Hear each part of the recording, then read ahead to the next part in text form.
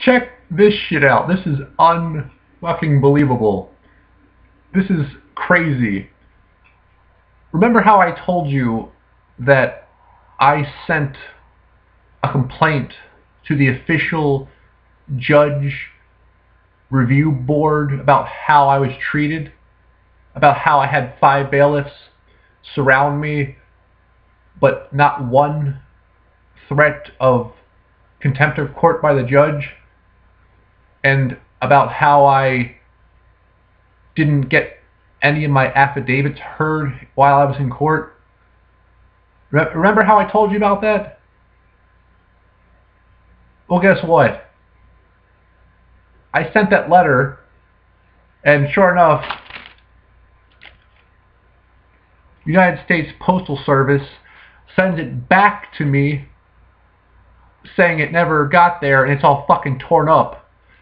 This, this is, see, United States Postal Service says, I want to extend my sincere apology as your postmaster for the enclosed document that was inadvertently damaged in handling your postal service.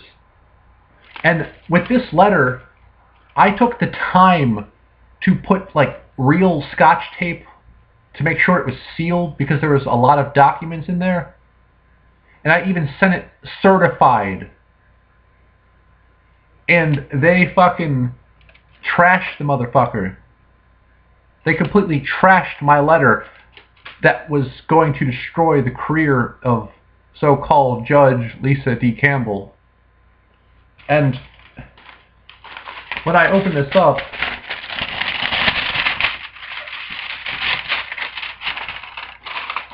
and see this is the only part of the letter that's still intact. It's funny how they give me this little piece of envelope. Apparently this is all that's left of the letter I sent. This is all that's left. And I was sending it to Tallahassee, the Judge Commission on Tallahassee, and this is all that was left. All the documents are gone. It's funny how how much of a conspiracy this is because the, mag- the all the documents are completely gone, all of them. But this little piece of envelope with the return address and some some of the address of the judge commission is on there. Is that not a conspiracy or what? And I told you the whole time I was writing this, I was being attacked by gray aliens because you can you can hear them in your right ear, and you can hear them attacking you because they're draining your crown chakra of its higher mind. And I get this return service from the post office. So let me let me tell you how it works. You, you get some reptilian working at the post office that detects my energy. And of course, it's a Masonic secret that the post office is post office runs the world, and the post office is nothing but Masons. So of course they get some reptilian to come down and search through the letters to find my energy on the letters because you know my vibration is on the letter. And so the reptilian comes down, singles it out, takes the letter, empties it, and puts it in one. You know, basically they rip it open and they threw the material away, the substance.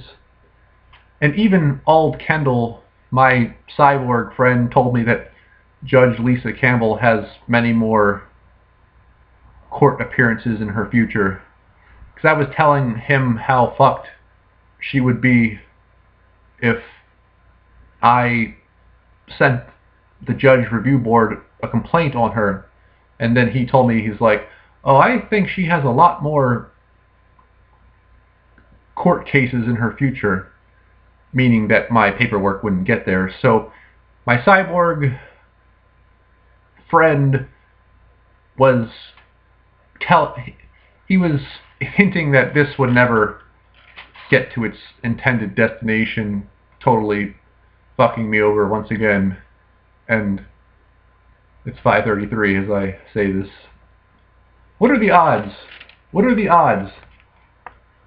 Just this little piece is all that's left. There's nothing else that's in here, obviously.